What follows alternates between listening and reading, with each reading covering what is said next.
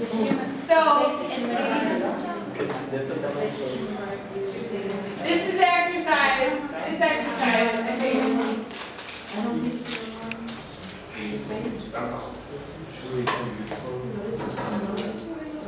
so with this exercise and this resolution, I think is a really good time to talk about the connection of values and arguments.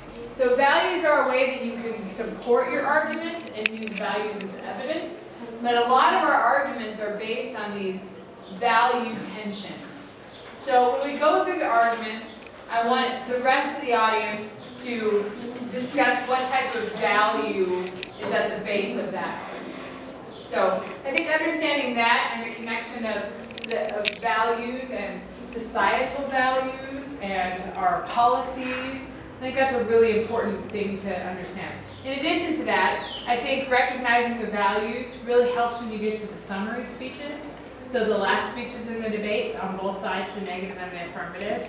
So you can talk about a lot of those values and how they should be prioritized on your certain side of the resolution. So that's what we'll do. Who wants to do affirmative? How, you, how about you guys propose your affirmative?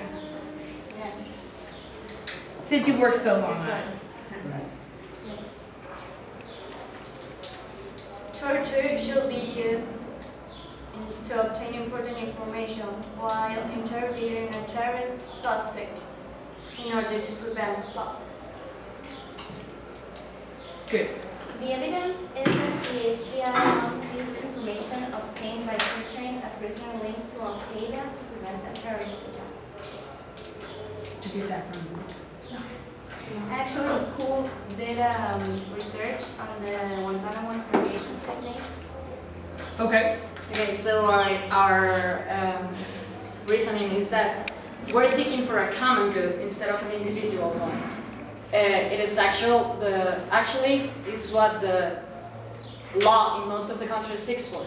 The common law, in, the common good instead of the individual one. So if by torturing one person we could we can save a thousand lives, why not? Good. What'd you guys think? That's a good argument.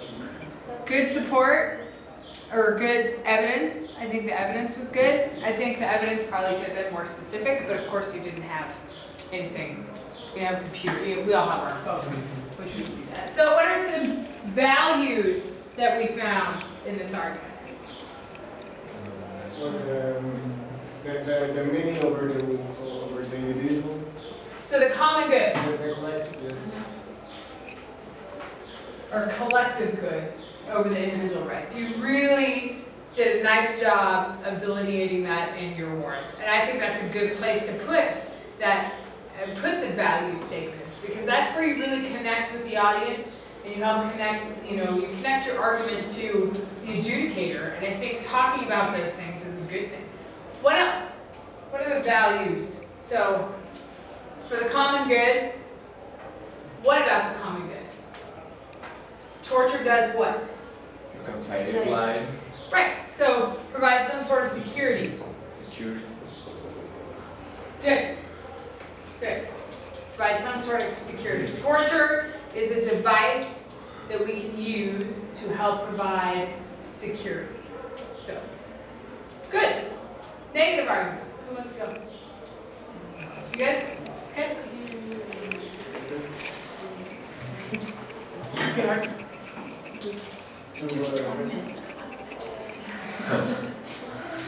I'm just joking. Uh, our claim is, is that uh, torture is never justified uh, under any circumstances. And then the evidence, um, we have the Universal Declaration of Human Rights, and it's on articles numbers three and five. Third, it's stating that um, life is, has to be saved no matter what, no matter which life. And number five um, stating torture as being banned in, in any circumstance.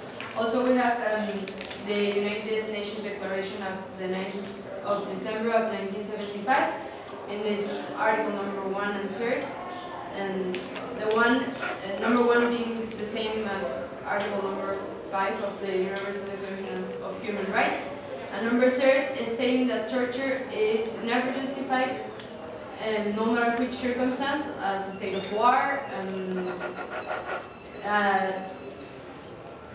having war in the country, and I, I mean, any circumstance, um, being an, an emergency situation, it doesn't matter if it's an emergency situation. Okay.